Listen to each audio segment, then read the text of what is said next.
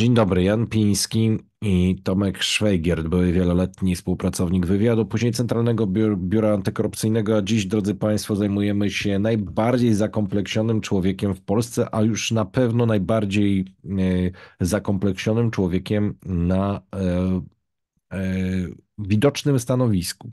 Mowa oczywiście o Andrzeju Dudzie, który, którego e, otoczenie zaczęło rozgłaszać narrację, jakoby Donald Tusk załapał się na wycieczkę e, do Pałacu Prezydenckiego, do Białego Domu, e, bo jedzie tam Andrzej Duda. Jest dokładnie na odwrót. To znaczy, Andrzej Duda po swoim karygodnym zachowaniu w 2020 E,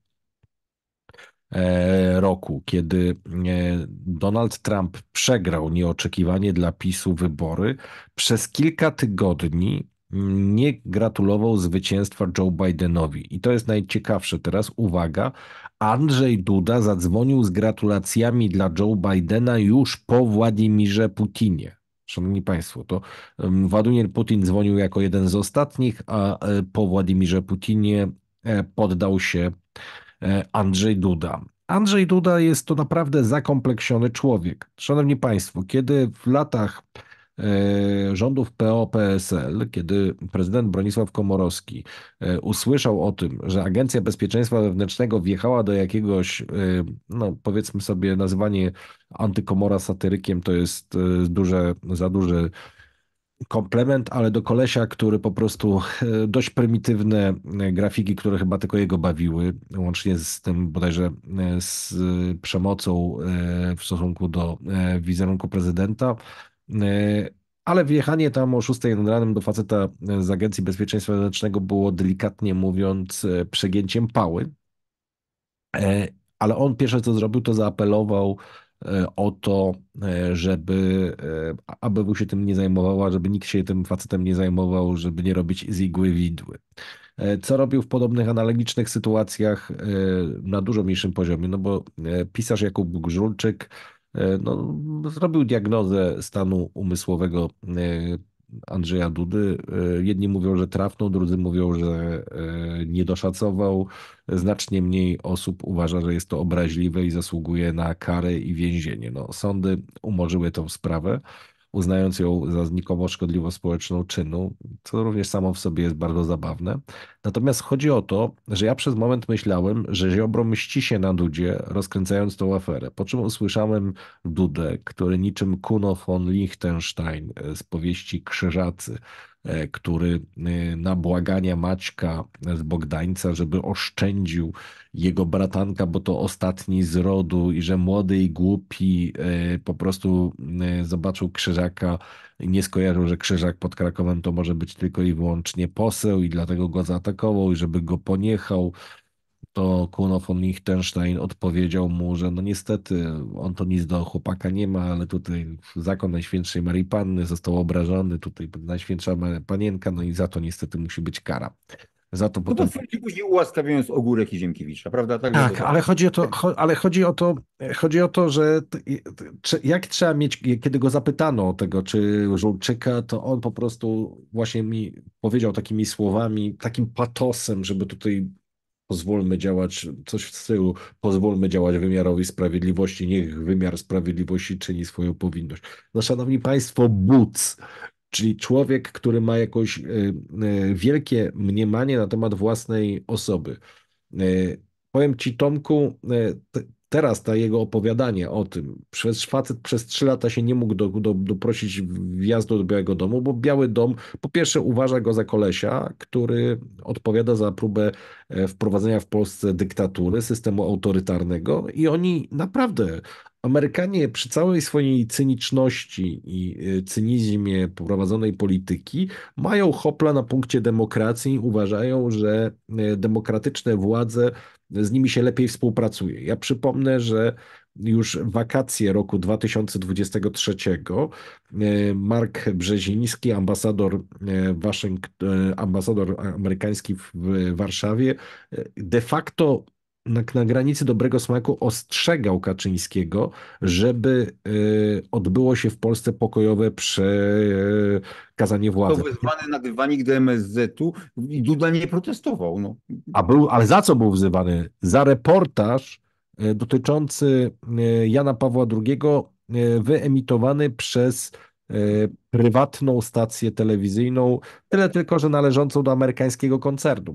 Chodzi o to, że mówimy o Andrzeju Dudzie. To jest taki człowiek, który jest e, człowiekiem z kompleksów. To znaczy, on uważa, że skoro został prezydentem Polski to dwa razy, e, to e, chociaż z tym drugim razem to ja bym polemizował, ale on, bo to tam nie ma jeszcze werdyktu Sądu Najwyższego, nie wiadomo, czy liczba tych złamań prawa nie przekroczyła dopuszczalnych norm. I teraz, Tomku, mamy do czynienia z taką sytuacją, w której e, Duda, żeby się lepiej poczuć, rozpuszcza e, informacje, jego otoczenie rozpuszcza Mastalerek. Sakiewicz jest proszony o to, żeby spontanicznie wyraził opinię o tym, że Tusk się załapał, że będą w ten sposób sączyć.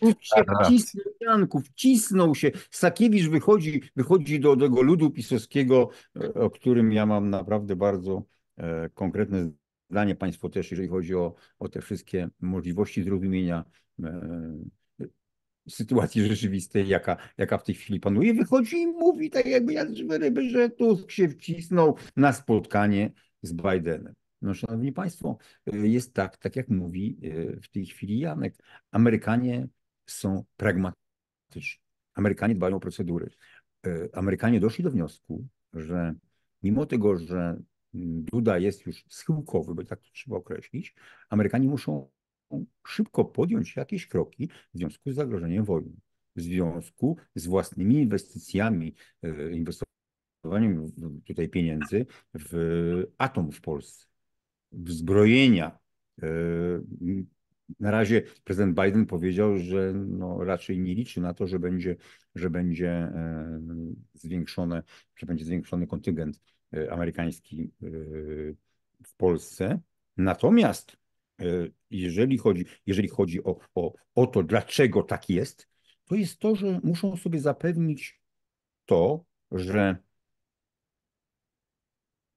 stanowisko i rządu, i prezydenta, że Duda nie będzie wkładał patyka w szprychy i nie będzie przeszkadzał temu, żeby, żeby te procesy szły, że to razem uzgodnią. Amerykanie rozumieją, że jednak e, to trzeba robić szybko te wszystkie rzeczy, a Duda może przeszkadzać. Dlatego zapraszają ich razem.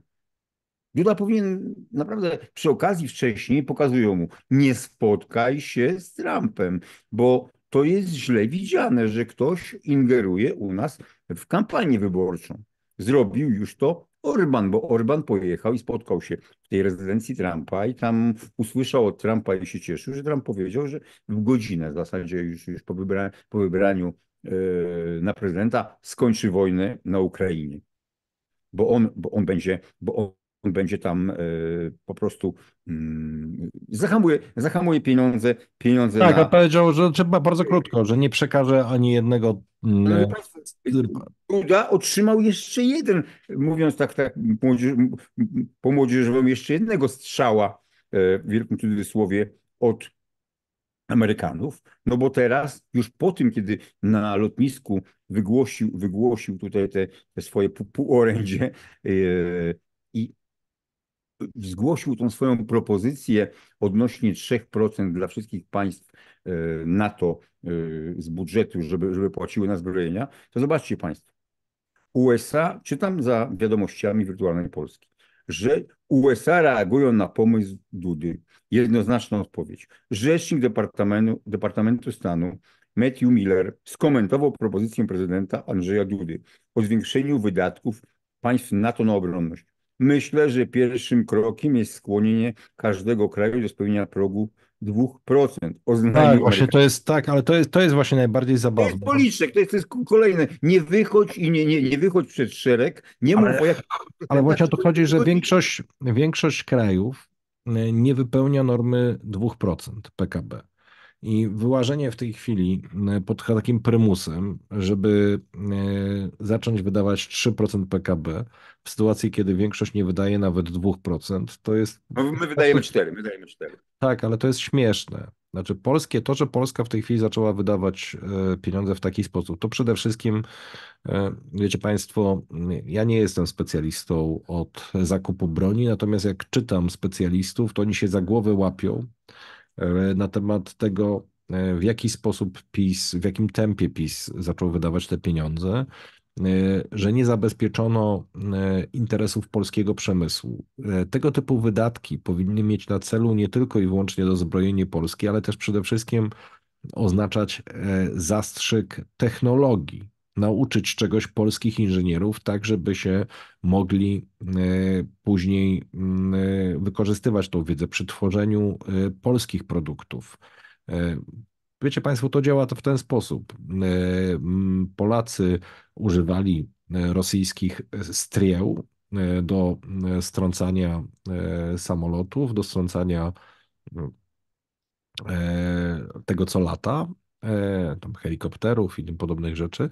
Natomiast e, z tego obcowania z tą rosyjską technologią narodziły się potem polskie gromy, gdzie po prostu wzięto e, to, co było dobre w rozwiązaniach rosyjskich i stworzono zupełnie nową broń, e, która e, skutecznością okazała się i tutaj Lech bardzo... Kaczyński dochodził do skandalu oczywiście też. Znaczy, tak, znaczy on, a tutaj teraz nawiązujesz, ale to, bo to, to akurat no Lech Kaczyński przekazał tą broń Gruzinom i to jeszcze w trybie, w, bez żadnego trybu, ponieważ ta broń była potrzebna im teraz, tu i teraz, to doprowadził do zagrożenia bezpieczeństwa E, Polski i po prostu zdjął z wyposażenia e, polskiej armii jakąś tam ilość gromów i przewiózł ich, przewiózł te gromy e, do Gruzji. Jako nowi członkowie NATO w tych gromach był zainstalowany tak zwany system swój obcy. Te, te, nie, tam jest Tomko, tam była przede wszystkim nie te to... rakiety były, Janku, te, te, te rakiety, e, wiadomo, że oszczędzały samoloty, samoloty e, NATO, bo my dysponowaliśmy też rosyjskimi maszynami, i nie tylko my, a y, były nastawione na, na e, samoloty, na samoloty rosyjskie. I takie rakiety zostały przechwycone. Znaczy, przeskiem na często tam była jedna rzecz, którą zdobył polski wywiad, która w wypadku konfliktu zbrojnego z Rosją mogła e, zaowocować fiaskiem pierwszej fali uderzeń. To znaczy, tam były, e, było to e, naprowadzenie poprzez e, używanie częstotliwości, które używali, używały wojska rosyjskie. I ponieważ duża część tych rakiet wpadła potem w ręce Rosji, to po pierwsze Polska musiała się przyznać do tego, że dostarczała tą broń, dlatego żeby potem nie było na przykład, że jakiś samolot nad Morzem Południowochińskim zostanie strącony z polskiego groma, to jest raz.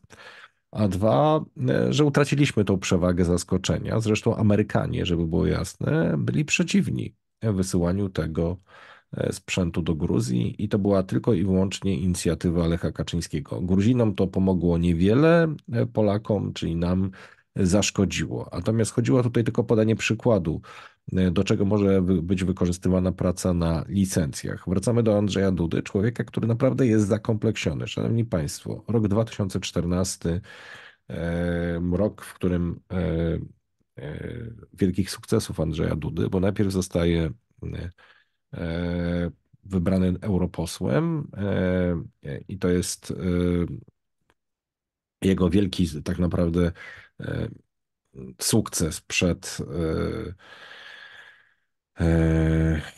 przed wyborami e, prezydenckimi, nominacje. Tak. Potem dostaje nominacje e, prezydenckie, ale uwaga, parę przed tymi wyborami do Europarlamentu on się poddaje publicznie, bo są z tego obrzędu zdjęcia, wtarcia łoju mistyczki Myrny Nazur, E, która e, od iluś tam lat e, wycieka jej łój z ran na rękach i no można się śmiać, szanowni państwo, ale Andrzej Duda się z nas śmieje, no bo my się śmiejemy, my nie wierzymy, my jeszcze szydzimy e, z tego, że on po prostu naciera się publicznie łojem jakiejś mistyczki, a on e, po tym e, zabiegu wygrał wybory do Europarlamentu, a potem wygrał wybory prezydenckie i kto tu się śmieje? Natomiast tutaj chodzi raczej to zestawienie z jego pozą, że on jest doktorem prawa. No, jakim on jest doktorem prawa, no to już słyszeliśmy na przykład jego, jego wykładowców. Tak, od jego wykładowców, którzy się jego wstydzą. E, to jest też ten jego słynna wypowiedź. E, nie będą nam tu w obcych językach, e, która wyda, powiem Państwu, naprawdę to jest wypowiedź, która mm, mogłaby się spokojnie pojawić w latach 60. w ustach Gomułki. To jest, powiem Państwu, szokujące to jest ten cytat e, ze stycznia 2020 roku. Nie będą nam w obcych językach narzucali, jaki ustrój mamy mieć w Polsce i jak mają być prowadzone polskie sprawy. E, znowu, prymitywne, nie będą nam narzucali w obcych językach jaki ustrój. To się e, wiązało z tym, że oni budowali dyktaturę. Problem Andrzeja Dudy był i tej całej menażerii, to jest to, że oni że im ta dyktatura, że wprowadzanie tej dyktatury im się nie udaje. Teraz oczywiście można krytykować obecną władzę, że robi za mało, żeby przywracać demokrację, że za wolno. Natomiast nikt nigdy, nie tylko w Polsce, ale powiem szczerze, nie było e, takiej możliwości, aby e, e, znaczy, żeby trenować przywracanie, była demokracja wprowadzana po systemie totalitarnym. Natomiast Polska jest jedynym krajem, który zawrócił z drogi autorytaryzmu e, do demokracji w drodze wyborów. I teraz jest taka sytuacja, jak przywrócić demokrację w sytuacji, w której teraz panowie e, z PiSu e, swoich niedemokratycznych nominacji bronią przy użyciu e, powoływania się na konstytucję. No mamy nie, mamy nie sędzię, która jest nie pierwszym sędzią Sądu Najwyższego i ona wrzeszczy o łamaniu konstytucji. Mamy propozycję naprawdę bezczelną w wykonaniu E, Andrzeja Dudy, który chce resetu konstytucyjnego, który polega na tym, że e, to jest, ja, ja, mówię, jaka jest propozycja. My zabierzemy swoich sędziów, a wy zabierzecie swoich i będziemy teraz od zera, czyli będziemy traktować tych, którzy byli wybierani uczciwie i normalnie i którzy zachowywali się przyzwoicie w latach w czasach zarazy i będziemy zrównywać ich z tymi, którzy przyjmowali awanse na sędziów Sądu Najwyższego, chociaż nie spełniali kryterium i chociaż doskonale wiedzieli, albo przynajmniej powinni wiedzieć, że neo-KRS nie jest Krajową Radą Sądownictwa sensu stricte, o której pisze Konstytucja. Tomku, dla mnie Andrzej Duda to jest zresztą sposób, w jaki on e, reaguje na ciebie, jaki on reaguje na mnie. E, aczkolwiek bardziej na ciebie, że on jest facetem, to w ogóle to, to jest taka cecha też tych takich mm, quasi autokratów, którzy nie mają do siebie żadnego dystansu, którzy... Jakby to powiedział Piotr Tymochowicz, kompres mojego członka. No oczywiście żartuję, to, to, to, Ale no nie wiem, znaczy, szanowni, szanowni Państwo... No, Janku, ja jeszcze jedno chciałem zwrócić uwagę, zobaczcie Państwo i zobaczcie to pompowanie balonika. Dziwię się w ogóle, że nasze media w to weszły, że Andrzej Duda spotka się z Kongresem Amerykańskim, który przekona, między innymi ze speakerem, który jest przedstawicielem republikanów, który no, ma przekonać do tego, żeby oni jednak zgodzili się na to, że dadzą pieniądze dla Ukrainy, prawda, czy na, na obronę Ukrainy.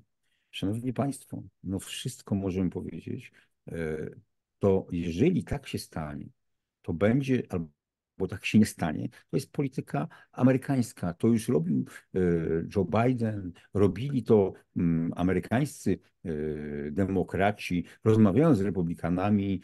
E, robił to Żołański i co przyjdzie teraz Andrzej Duda i okaże się, że Andrzej Duda nagle ma taką wielką zasługę, że to zmieni w ogóle politykę amerykańską i, i e, Kongres amerykański zrezygnuje z tych, z tych różnych e, tematów dotyczących wzmacniania e, tej granicy z Meksykiem i innych tych wszystkich argumentów dotyczących wojny, wojny na Ukrainie, tylko dlatego, że Andrzej Duda to zrobi. No, no ludzie, yy, szanowni państwo dziennikarze, no, no nie dajmy się zwariować. No, no, no po co wy dmuchacie w tą, w tą tubę, tubę Dudy, skoro to jest śmieszne? Przecież dokładnie widzicie, Duda, został tam zabrany po to, żeby otrzymał jasny przekaz. Przestań, nie przeszkadzaj. Jesteś razem, musicie to razem robić. Tusk wyraźnie powiedział w swoim oświadczeniu, że nie zgadza się z Dudą od początku do końca, ale dla bezpieczeństwa Polski będzie z Dudą współdziałał, jeżeli chodzi o obronność Polski. I, i, i wiezie tam Dudę dlatego, żeby Amerykanie powiedzieli, nie przeszkadzaj. Bo dlatego, no, szanowni Państwo, no chyba pamiętacie sytuację z tej komisji ruskiej do ścigania Tuska, gdzie wyraźnie Departament Stanu mu pokazał, słuchaj, uspokój się i on w poniedziałek to ogłosił, we wtorek zaczął mówić, że Amerykanie go nie rozumieli, w środę dalej to samo wszystko bałakał, a w czwartek sam zawetował swoją ustawę. No przecież czy, czy sądzicie Państwo, że Amerykanie tego nie pamiętają i uważają go teraz za męża stanu? No przecież pamiętacie Państwo sytuacji, kiedy Duda e, tak ohydnie potraktował swojego przyjaciela e, Władimira Żołęskiego. Mówił mu o topielcach. Prawda? Kiedy na forum ONZ E, Żołęski nie chciał się spotykać z Dudą. Omijał go. Robił to, gdzie tam pisiory były, że nie, bo jak wychodzi Duda, to wychodzi z sali i on robi takie rzeczy. My tyle pomagamy, a on tak się, on tak się zachowuje. Ja mm, oczywiście rozumiem te wszystkie e, rzeczy dotyczące, że nasz interes jest najważniejszy i też tak, i też tak uważam, jeżeli chodzi o sytuację rolników, ale no, wychodzenie i, i, i mówienie do prezydenta, który, e, którego naród codziennie ponosi takie ofiary i z którym się rzekomo przyjaźni, że, że to jest topielec, no to Szanowni Państwo, czy, no to Żulczyk który grozi, rację. który zagraża temu, którego próbuje ratować. Żulczyk ma rację w 100%. I teraz y, sądzi, wszyscy sądzą, że opinia publiczna w Stanach Zjednoczonych przyjmie, przyjmie tą głupotę, tak jak, tak jak u nas ten y, lud pisowski, już nie chcę ich obrażać, że no to, no, no to Duda tam jest mężem stanu, a Tusk jedzie tam na przyczepkę. Szanowni Państwo, no, no w dalszym ciągu yy, u nas część społeczeństwa jest traktowana jako idioci. Mm, no wychodzi, wychodzi, wychodzi Stakiewicz i, i potwierdza tę, tę, tę bzdurę. I zobaczcie Państwo, to jest smutne, że lud pisowski to kupi. To jest to, co mówi Kurski. Głupi lud to kupi. E, na szczęście szczycę się tym, że jesteście z nami, wy nie jesteście głupim ludem i tego nie kupicie. I musimy to wszystko demaskować i pokazywać, co robi. Pan... Wraca, Wracając do. Bawił się łokiem, tak to określimy. Wracając, wracając do Andrzeja Dudy. E, facet jest e, prezydentem 8 lat, ponad, w zasadzie już bliżej 9 lat. E, przez ten czas nie przeprowadził żadnej ustawy, nie zrobił nic takiego, co by zostało zapamiętane jako mm, jakieś jego osiągnięcie mm, tak naprawdę e, był notariuszem, był e, człowiekiem, który podpisywał ustawę Kaczyńskiego. W zasadzie nie podpisał dwóch ustaw e, takich ważnych. Nie podpisał przejęcia TVN-u, no bo został naciśnięty bardzo mocno przez Amerykanów i nie podpisał pierwszych ustaw sądowych Jarosława Kaczyńskiego, co ten ma do niego pretensje, że opóźniło to przejmowanie wymiaru sprawiedliwości i w konsekwencji e, doprowadziło do załamania się rządów PiS. Ale tak naprawdę on nie podpisał wtedy tej ustawy tylko z jednego powodu. Tam e, były, e, była zmarginalizowana rola Urzędu Prezydenta, czyli Andrzeja Dudy, a bardzo dużo większa rola Zbigniewa Ziobro jako ministra sprawiedliwości, generalnie ministra sprawiedliwości e, w tym układzie rządowym. I on się na to nie zgadzał. Mm, chodziło o to, że e, kiedy on zaprzysięga e, prez, pre, sąd, sędziów, to on wypowiada słowa, które dużo mówią o jego stanie umysłu, czyli że ja się dzielę z wami moim imperium. Już, szanowni państwo, to jest człowiek, który po tego typu tekstach niestety przy sprawnie działających mediach powinien zostać wykończony. E, To jest facet bardzo mocno zakompleksiony. To jest moment, w którym on deklaruje, że będzie wetował e, ustawę o e, pigułce PO, która nie jest pigułką wczesnoporonną, tylko jest pigułką antykoncepcyjną i jest plan, aby była dostępna dla młodzieży powyżej 15 roku życia, a nie tylko i wyłącznie tak jak jest obecnie dla tych, którzy są dorośli i mogą sobie pójść do lekarza. E, Już nie wspominając o kosztach, bo często nawet 18-latek może sobie pójść do lekarza, tylko że wizyta u lekarza e, kosztuje z dnia na dzień szczególnie, no bo o, tak, a, a, a, o takich sytuacjach mówimy, kosztuje kilkaset złotych. Więc jeszcze potem dochodzi do tego wykupienie leku na receptę. Mówimy w tym momencie o ludziach, którzy musieliby mieć w kieszeni 500 zł i chcieć się przeznaczyć na antykoncepcję. To jest po prostu Młoda e, dziewczyna, która kwota. chce było w tajemnicy wszystko, Tak. idzie nagle, I on, facet, który, szanowni państwo, to jest ważne. e, Andrzej Duda e, to jest tajemnicą Poliszynela od czasu, kiedy napisała o tym Gazeta Wyborcza. Zaczął zresztą ją zlinczowano, że tu wchodzi w życie prywatne Andrzeja Dudy, a ja uważam, że w tym konkretnym wypadku jest powód, żeby to przypomnieć.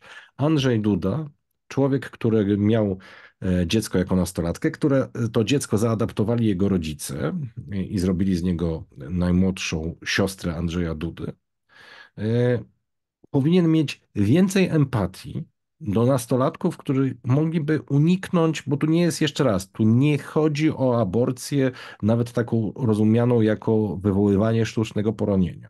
Tu chodzi tylko i wyłącznie o środek, który zapobiega e, zapłodnieniu. I teraz uwaga, tłumaczenie ludzi e, Andrzeja Dudy, że e, chodzi, że to bomba hormonalna dla młodego organizmu. A czym jest ciąża, jeżeli nie bombą hormonalną? Możliwa ciąża, e, którą e, tego typu tabletka uniemożliwia. Czymże jest? Przecież też jest e, gigantycznym ryzykiem dla organizmu, ba, ryzykiem nawet życia, nie tylko zdrowia, dlatego że każda ciąża jest e, zagrożeniem e, życia matki, ponieważ jest to olbrzymi wysiłek organizmu i powiem szczerze, dla mnie ta jego hipokryzja w tym momencie jest obrzydliwa. Ja mam wrażenie, że po tym, jak on podpisał, to było dla mnie zaskoczeniem, muszę przyznać, jak podpisał e, refundację in vitro. E, Ktoś odbył z nim tam jakąś dyscyplinującą rozmowę, żeby nam to było po raz ostatni e, to po- powiem szczerze, robi to wrażenie, jakby ktoś go pociągnął za smycz. Andrzej Duda jest facetem, który chciałby o sobie myśleć w kategoriach, o których mówi o nim Mastalerek, który zresztą go bardzo skutecznie ośmiesza. E, Jedynym powodem, dla których najpierw byliśmy takimi, mówiłem Państwu, to nawet można prześledzić na kanale, myśmy uważali, że Mastalerek to jest jakiś wyluzowany koleś, e, który miał w nosie Jarosława Kaczyńskiego, bo potrafił e, w czasach, kiedy Jarosław Kaczyński był wszechmocny, to był tam czerwiec, y, maj 2015 roku, w partii szedł po władzę, to tenże Mastalerek e, po prostu spotykał się z kumplami i pokazywał im, patrzcie kto dzwoni, o prezeszunio dzwoni, he, he, he, a ja nie odbieram, bo mnie nie ma, jestem z wami na piwie. on zaczął dalej mówić na Tak, ale on się zdziwił, ale on się zdziwił, że wszyscy dla niego do, donieśli. Dla mnie to mm, przez moment myślałem, że ten koleś jest po prostu jakimś fajnym, e, bystrym człowiekiem, a wyszedł po prostu gigantyczny tłuk, e, który e, Bufon, kolejny bufon. tak, bufon, facet, który nie ma zielonego pojęcia o PR-ze, e, który powoduje katastrofę wizerunkową i powiedziałem, że jedynym powodem zatrudnienia go, który ja widzę, to jest taki, żeby e, Andrzej Duda zaczął e, lepiej wyglądać na jakiegoś takiego intelektualistę, kogoś, kto e, coś sobą reprezentuje. Andrzej Duda jest po prostu e, takim żywym dowodem, szanowni państwo, że prezydentem w Polsce może być każdy. E, To jest, e, zrobiono z niego produkt. E, Kiedyś e, Waldemar Paruch e, gdzieś zdradził jakieś e, takie tajemnice w jakiejś jednej z rozmów, mówiąc o tym, że najpierw naszkicowali, jaki powinien być ten prezydent z PiSu, żeby ludzie go mogli wybrać, a potem się zaczęli rozglądać za tym, e, który z dostępnych e, dla nich kandydatów jest najbliższy ideałowi, który namalowali. Andrzej Duda, drodzy Państwo, doktor nauk prawnych, który o prawie nie ma e, zielonego pojęcia. Koleś, który oblał e, stosunkowo, mimo wszystko prosty dla inteligentnych ludzi egzamin adwokacki. Na, znaczy, to jest taki egzamin na aplikację adwokacką, to nie jest jeszcze egzamin adwokacki. Egzamin na aplikację dla człowieka, który ma za sobą e, ileś lat studiów, wie jak się uczyć, to nie powinien być duży problem. E, żeby go zdać. No jednak dla Dudy się to okazało ponad e, e, jego zdolności. Tu jest ważne, dlatego że to pokazuje też te jego przegrane potyczki z językiem angielskim. Wiecie Państwo, człowiek ambitny to by miał taką porażkę, zaliczył tylko raz, potem by zagryzł zęby i by po prostu uczył się dopóty, dopóty nie, mm, nie byłby pewien swego, a w międzyczasie po prostu nie zabierałby publicznie głosu, e, żeby nie odsłaniać się, nie powodować wpadek. Andrzej Duda, facet mający tak duże kompleksy, e, nie potrafi jednocześnie zdobyć się na e, odejście e, z, znaczy, żeby powiedzieć na przykład panelistom, że nie może wystąpić bez tłumacza albo że będzie występował z tłumaczem. E, wolał spowodować katastrofę wizerunkową. To jest ciekawa przesłanka, Tomku, jak on zostanie wezwany przed komisje śledcze tego parlamentu po tym, jak przestanie być prezydentem w 2025 roku. To może być naprawdę bardzo zabawne dopytywanie go na przykład. Y, no, człowiek, człowiek, o którym dużo się uczył e, Jarosław Kaczyński, czy, czyli Lenin. I Lenin powiedział, że nawet kucharka może rządzić państwem. Ale to była bzdura. Tak, ale no to widać, że Jarosław próbuje to wprowadzać w postaci pani Przyłębskiej, no i jesz. I, i tak samo w jakimś stopniu Dudy. Tak, no, Jarosław Kaczyński jako e, człowiek, który bardzo mm, chętnie czyta e, krótki kurs historii, historii WKPB. No, no. Także, także to jest Jarosław Kaczyński i on mianuje takich ludzi. I tak to, tak to wszystko wygląda. I patrząc na, patrząc na, na Dudę, na to jego otoczenie, na to, te, te rzeczy, które robi i to, że jemu się wydaje, że Amerykanie nie będą pamiętali chociażby tego, że Duda ostatnio mm, dokładnie opowiedział, jak wy, wyglądają jego, jego relacje Ale... z pierwszą najwyższego. To ja jest nie do pomyślenia w Stanach. Nie do pomyślenia zresztą. Ja tylko, bym, ja tylko bym sprostował, bo oryginalny cytat e, z Lenina, któremu się wpisuje, brzmi tak. Nie, nie, nie jesteśmy utopistami. Wiemy, że nie każdy robotnik, nie każda kucharka z dnia na dzień będą rządzi, potrafili rządzić państwem. Bo to było, była, jeszcze, była jeszcze spór, czy sprzątaczka, czy kucharka. Nie, bo to było, nie, nie. Po rosyjsku to było my nie utopisty, my знаем, что любой чернорабочий и любая кухарка не способны сейчас же вступить w uprawienie gosударством. To jest, e, tak to, tak to brzmi w oryginale, czyli e, tutaj też bym przestrzegał przed upraszczeniem cytatów. Lenin e, był zbyt wytrawnym politykiem, żeby utwierdzić, że byle kto może rządzić państwem. Andrzej Duda to nie jest byle kto. To nie jest byle kto, Janku. Barka to nie jest byle kto. Ale nie, Andrzej Duda to jest, to jest facet, to jest facet idealnie, tak jak satyryk Dobrowolski mówił, to jest facet wykształcony ponad własną inteligencję. E, na dodatek, e, wiecie Państwo, to jest tak, ja pracowałem parę razy naprawdę z wieloma głąbami e, i takim statystycznym rozróżnikiem głąbów jest to, że oni są przekonani o własnej inteligencji i o własnym po prostu wielkim sprycie, wyższości i o tym, że mm, po prostu, to jak Państwu tłumaczyłem kiedyś na przykład, na przykładzie Marka Króla, który podobnie jak Jarosław Kaczyński był gotów wziąć na siebie każde zwycięstwo swojej drużyny wprost. I, i następ... komunistów. Tak. tak, tak, tak, ale oprócz tego e, odrzucał każdą e, porażkę, którą e, Czyli było tak, że wszystko, co dzieci wygrywacie, to jest, to jest moje zwycięstwo, Natomiast wszystko, co przegrywacie, to jest wasza wina, bo nie dość dokładnie słuchaliście się moich poleceń. I Andrzej Duda, powiem Państwu tak, zwróćcie uwagę, e, przykro mi to mówić, ale tam nie ma w otoczeniu Andrzeja Dudy żadnych mądrych ludzi. E, I to w zasadzie e, dużo mówi o Andrzeju W otoczeniu Jarosława Janku już teraz są. Ale nie, w otoczeniu Jarosława ten poziom się pogarsza. Jak mówi pan profesor Wojciech Sadurski, który kojarzy jeszcze młodego Jarosława Kaczyńskiego, Jarosław Kaczyński po prostu ma jakąś taką wewnętrzną zasadę, że musi zachować dystans. W związku z tym, skoro jemu, e, e, jego mózg e, zaczął obniżać loty, no to musiał siłą rzeczy obniżyć loty otoczenia, żeby za bardzo nie rośli. Wiecie Państwo, to jest, to, to jest zupełnie takie, ja, ja obserwuję ludzi. Ja generalnie lubię, mm, pamiętam taką panią, która kiedyś e, została e, na chwilę w hierarchii lekko wyżej ode mnie, bo była, e, nie była moją przełożoną, bo to jest o tyle ważne, że ja miałem bardzo specyficzną umowę o pracę.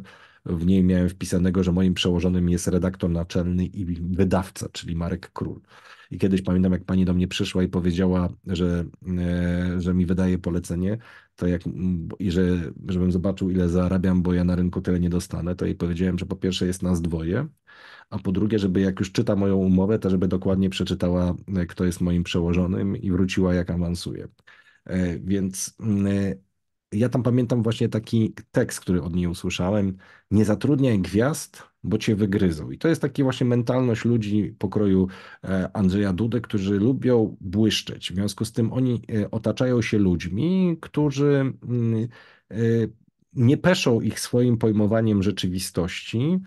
Wiecie Państwo, ja, to, ja to się lubię uczyć od ludzi, a, a, a oni niestety z, z tą nauką to, nie, to niespecjalnie. U nich niestety, ale jak, jak, to, jak ten model zarządzania przeniesiemy na całe państwo, no to szanowni państwo, powiem tak, to, że Tusk e, zabrał władzę Kaczyńskiemu w 2023 roku 15 października, to może się okazać, e, że to było to, no nigdy tego nie sprawdzimy, co pozwoli nam uniknąć wojny.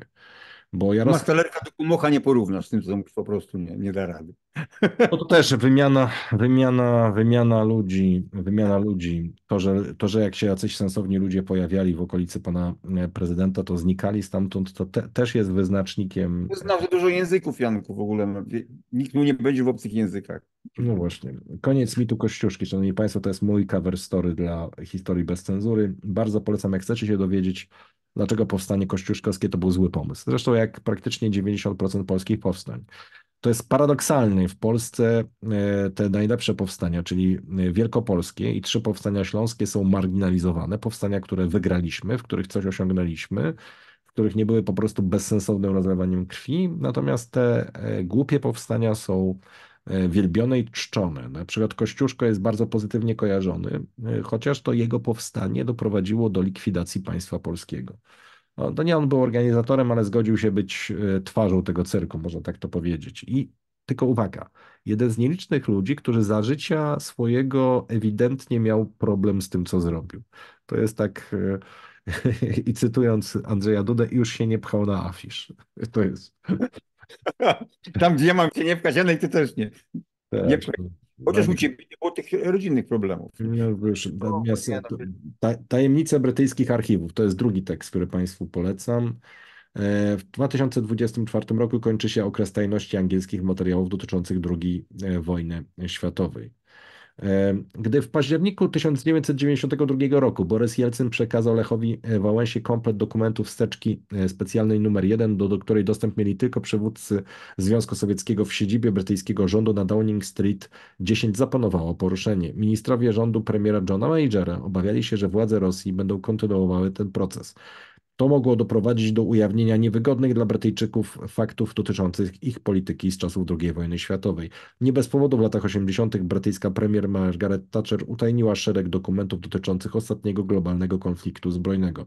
Okres ich tajności kończy się w 2024 roku, ale znając dotychczasową politykę Brytyjczyków nastąpi kolejne przedłużenie niejawności tych materiałów. Tak, drodzy Państwo, tak nastąpi, dlatego że Brytyjczycy nie chcą, żeby się świat dowiedział, w jaki sposób prowadzą politykę. Krótko mówiąc, Anglicy są e, do bólu e, pragmatyczni i cyniczni. Ja cały czas będę twierdził, że w 1939 roku sednem polityki i celem polityki brytyjskiej, a także częściowo francuskiej było to, że jeżeli Hitler ma kogoś zaatakować, to niech atakuje Polskę, a nie nas.